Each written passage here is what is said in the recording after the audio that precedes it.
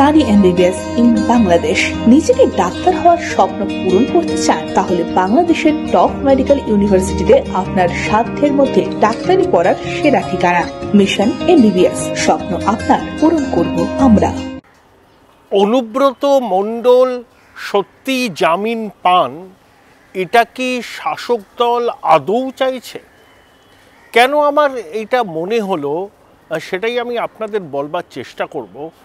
কতগুলো ঘটনা আমার মনে হয়েছে, সেই ঘটনাগুলো যদি একটু বিশ্লেষণ করা যায় তাহলে কিছু সিদ্ধান্তে উপনীত হতে আপনারাও পারবেন।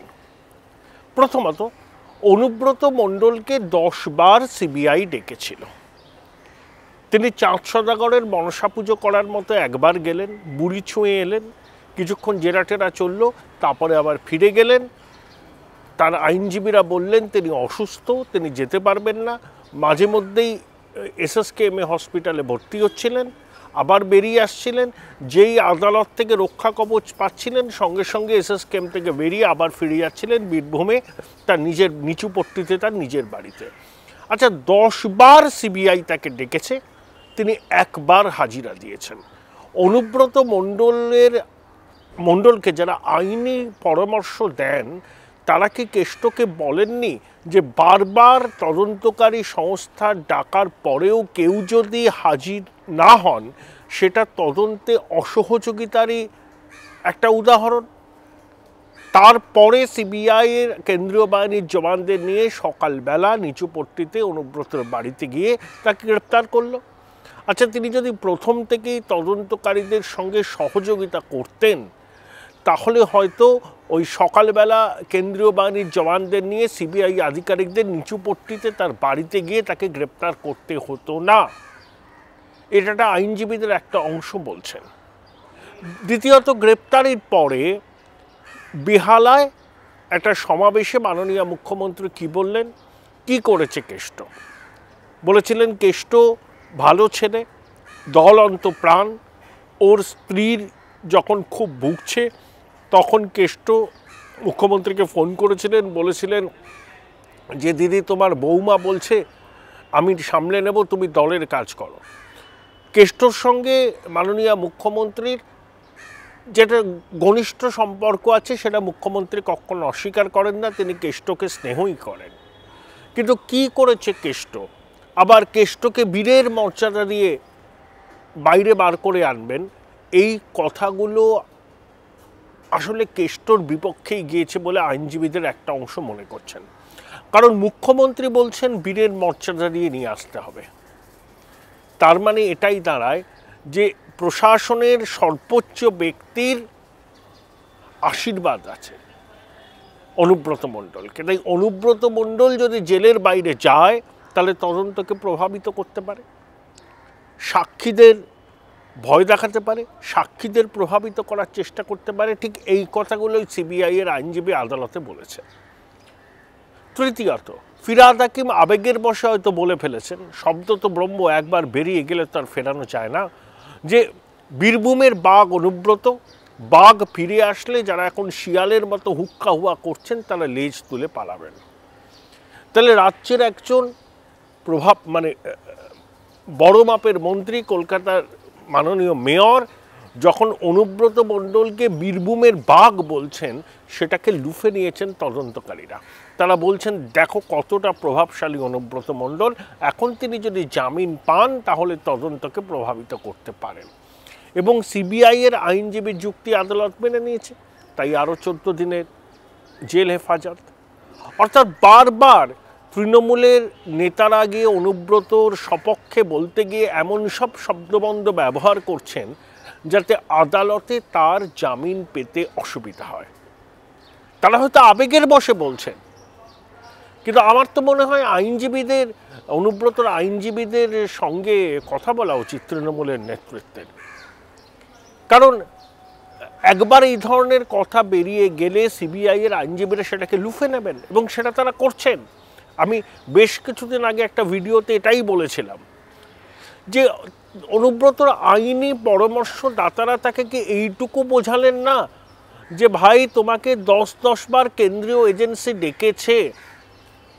তুমি ঠিক আছে, দুবার গেলে না, তিনবার গেলে না, তুমি নবারই গেলে না। এর থেকে তো সিবিআই আদালতে গিয়ে বলবে যে, বারবার আমরা ডাকছি, সময় দিচ্ছি, বলছি, আসতে উনি আসছেন না। মানে তদন্তে সহযোগিতা করছেন না। এটা তো অকাট্য যুক্তি পেয়ে যাবে সিবিআই এর আইনজীবীরা। ঠিক সেটাই হয়েছে। দেখুন, ভোট পরবর্তী হিংসার মামলায় অনুব্রতকে হাইকোর্ট রক্ষা কবচ দিয়েছিল। সুপ্রিম কোর্ট সেটাকে বাতিল করে দিয়েছে, বলছে অনুব্রত সিবিআইয়ের কাস্টডিতেই আছে, এখন সেই রক্ষা কবচের কোনো মানে নেই। ইতিমধ্যে ইডি অনুমতি পেয়েছে অনুব্রতকে আসানসোলে সংশোধনাগারে গিয়ে জেরা করার। ইডি সূত্রের খবর বিভিন্ন সংবাদ মাধ্যমেও দেখছি, নতুন কিছু খবর নয়, অনুব্রতকে ইডি দিল্লিতে নিয়ে যাবে। স্টাডি এমবিবিএস ইন বাংলাদেশ নিজেকে ডাক্তার হওয়ার স্বপ্ন পূরণ করতে চান তাহলে বাংলাদেশের টপ মেডিকেল ইউনিভার্সিটিতে আপনার সাধ্যের মধ্যে ডাক্তারি পড়ার সেরা ঠিকানা। মিশন এমবিবিএস স্বপ্ন আপনার পূরণ করব আমরা। MBBS BDS MD MS MDS BTech ইত্যাদি বিভিন্ন কোর্সে দেশে ও বিদেশে ভর্তির ব্যাপারে এক্ষুনি যোগাযোগ করুন। Infinity at eight four two zero nine six seven nine nine nine সেখানে সেহগাল আছে, এনামুল আছে তিহারে। অনুব্রতর মেয়ে সুকন্যাকে প্রায় দুদিন অনেক ঘণ্টা জেরা করেছে। চালকল ব্যবসায়ী রাজীব ভট্টাচার্যকে জেরা করেছে। অনুব্রত জামাইবাবু কমলাকান্ত ঘোষকে জেরা করেছে। দিল্লিতে ইডি তলব করেছে। এবার অনুব্রতকেও দিল্লিতে নিয়ে যেতে চাইছে ইডি। তাহলে সেহগাল, এনামুল এবং অনুব্রতকে মুখোমুখি বসিয়ে তারা জেরা করতে পারবে। অর্থাৎ অনুব্রতর জেল মুক্তি আমার মনে হয় যে খুব একটা সহজ ব্যাপার নয়। একের পর এক মামলার জালে তিনি জড়িয়ে পড়েছেন। তার মধ্যে সাম্প্রতিকতম সংযোজন হচ্ছে লটারিতে টাকা পাওয়া। এবছরের জানুয়ারিতে কেষ্ট এক কোটি টাকা পেয়েছেন। তার কন্যা তিন দফায় পঁচিশ লাখ, ছাব্বিশ লাখ এবং পঞ্চাশ লাখ। কেষ্টমণ্ডলও দশ লাখ টাকা পেয়েছিলেন। অনুব্রত ঘনিষ্ঠ নলহাটির এক পুরপিতার ভাইয়ের স্ত্রী টাকা পেয়েছেন। তো এই সমস্ত কিছু দিয়ে মানি ট্রেলিং আয়ের সঙ্গে সঙ্গতিহীন সম্পত্তি, এইসব বিষয় নিয়ে কেন্দ্রীয় এজেন্সি কিন্তু অনুব্রতকে মামলার জালে জড়িয়ে দেবে। আর তার উপরে তৃণমূলের নেতাদের আবেগের বহিঃপ্রকাশ, কখনো বাঘ, কখনো বীরের মর্যাদা দিতে হবে কেষ্টকে, এই সমস্ত কথাও সিবিআইয়ের আইনজীবীরা ব্যবহার করেছেন, কোর্টে প্রমাণ করার চেষ্টা করেছেন। দেখো, অনুব্রত মণ্ডলের নামে বাঘে ঘড়িতে জল খায়, একঘাটে জল খায় এবং স্বয়ং রাজ্যের শাসক দলের কেষ্টবিষ্টুরা, রাজ্যের প্রশাসনিক প্রধান পর্যন্ত অনুব্রত মণ্ডলকে সমর্থন করছেন। এহেন ব্যক্তি যদি খুলিয়াম ঘুরে বেড়ায়, তাহলে বিচার বিভাগকে মানে বিচার প্রক্রিয়াকে প্রভাবিত করার চেষ্টা করবেন মানে সাক্ষীদের ভয় দেখাতে পারেন, সাক্ষীদের হুমকি দিতে পারেন, তাহলে ন্যায় বিচার পাওয়া যাবে না। অকাট্য যুক্তি আইনজীবীর এবং আদালত সেই যুক্তিকেই মান্যতা দিয়েছে। অনুব্রত মণ্ডলের স্পিন ডক্টরসরা এই জিনিসটা বুঝছেন না কেন আমি জানি না। সেই জন্যই আমার একটা জিনিস মনে হচ্ছে, জানেন? যে যতই তৃণমূল মুখে বলুন যে অনুব্রতকে ফাঁসানো হয়েছে, বিজেপির চক্রান্ত, বিজেপির ষড়যন্ত্র, অনুব্রত আবার বেরিয়ে এসে আবার সদর্পে বীরভূমে রাজনীতি করবে, এই কথাগুলো বলে তারা অনুব্রতর জেলে থাকাটাকেই দীর্ঘায়িত করছেন। তার মানে কি তৃণমূল চাইছে না যে অনুব্রত এই মুহূর্তে জেল থেকে বেরোক? তারা তো সব জানেন কীভাবে সিবিআই কোর্টে সওয়াল করেন কীভাবে সিবিআই এর আইনজীবীরা একজনকে জেলে যাতে রাখা যায় তার জন্য সওয়াল করেন এবং সেই প্রভাবশালী এই শব্দবন্ধ এজেন্সির আইনজীবীদের অত্যন্ত প্রিয়। কিন্তু এমন এমন কথা বলছেন তৃণমূলের নেতারা, সিবিআই হাতে অস্ত্র পেয়ে যাচ্ছে। সেই থেকেই আমার মনে হচ্ছে যে অনুব্রতকে প্রকাশ্যে সমর্থনের বার্তা দিচ্ছে শাসক দল? ঠিক। কিন্তু হয়তো ভিতরে ভিতরে তারা চাইছে না এই মুহূর্তে অনুব্রত মণ্ডল জেল থেকে বেরোক। এটা আমার মনে হচ্ছে। আপনারা আপনাদের মতামত জানাবেন। সহমত হতে পারেন, ভিন্ন মত পোষণ করতে পারেন। কিন্তু কতদিনের ঘটনা প্রবাহ কার্যক্রমকে আমি যেভাবে দেখেছি সেটাই আপনাদের কাছে বললাম।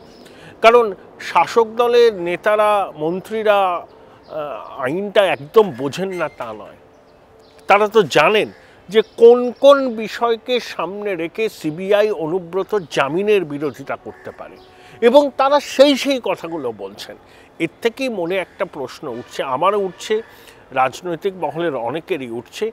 মুখে অনুব্রত মণ্ডলের পাশে থাকার বার্তা দিলেও শাসক দল আদৌ কি চায় অনুব্রত জেলের বাইরে বেরোক?